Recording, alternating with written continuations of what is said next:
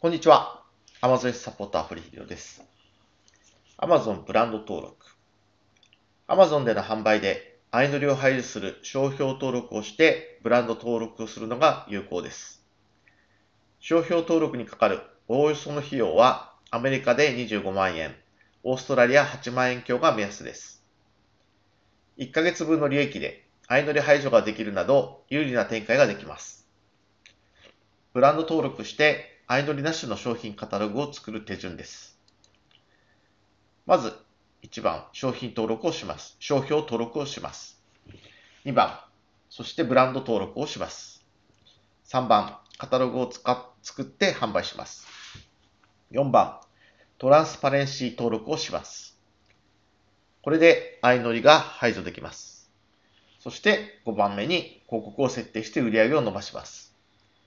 こうして無敵のカタログを作ると1商品で月100万円以上の利益を上げることも可能です。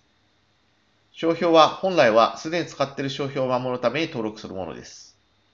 しかし実際に商標登録をしてみると Amazon での販売で有利な進め方は原則とはちょっと違うことが分かってきました。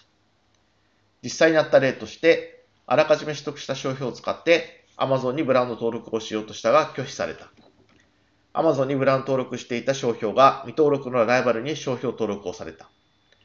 いずれも対策をしていれば防げた事例でした。商標登録に興味があればお気軽にご相談ください。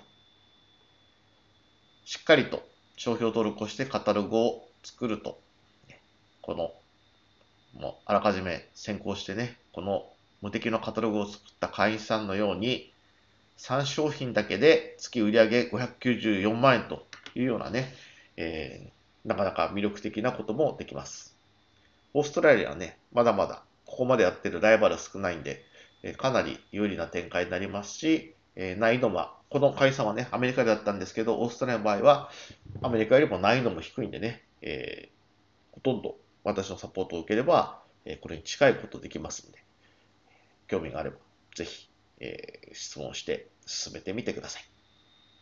ご質問、ご報告お待ちしてます。Amazon サポーター、堀秀夫でした。